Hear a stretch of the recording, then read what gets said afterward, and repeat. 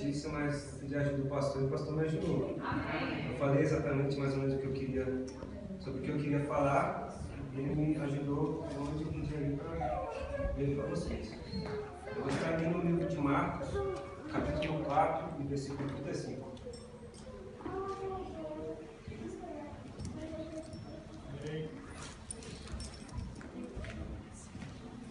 Amém? Diz assim: naquele dia, sendo já tarde, disse-lhes: Passemos para outra banda.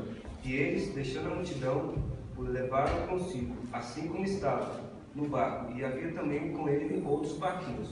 Levantou-se grande temporal de vento e subiam as ondas por cima do barco, de maneira que já se enchia.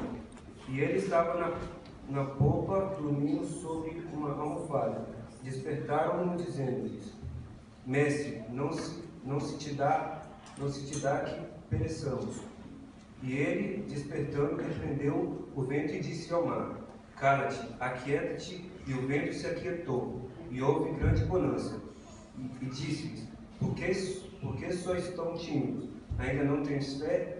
E sentiram um grande temor e diziam uns aos outros: Mas quem é este que até o vento e o mar lhe obedecem? Amém. Irmãos, é, é assim. Não importa se você está passando por um momento difícil, por um momento bom, Deus está do seu lado. Ele vai sua aleluia. Ele está contigo a todo tempo. E tem um, um verso, uma frase, que foi o líder Eliseu que mandou no grupo uma vez, e isso eu sempre tive, sempre tive olhando para isso. Diz assim: Senhor, fazei de mim como, como as ondas do mar, que fazem de cada recuo um impulso para ir mais adiante. Isso Deus, do jeito, do jeito que as ondas funcionam, é o jeito que Deus trabalha com nós.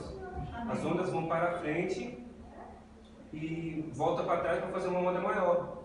E Deus, Ele te deixa você ir para frente, mas quando você errar, Ele te traz para o lugar onde você errou e te ensina a maneira certa de você fazer para você poder fazer do jeito certo e ir mais adiante. Amém? Tenha fé que sua bênção está, está chegando. Amém. Aleluia. Glória a Deus. Ó glória! Amém, irmão.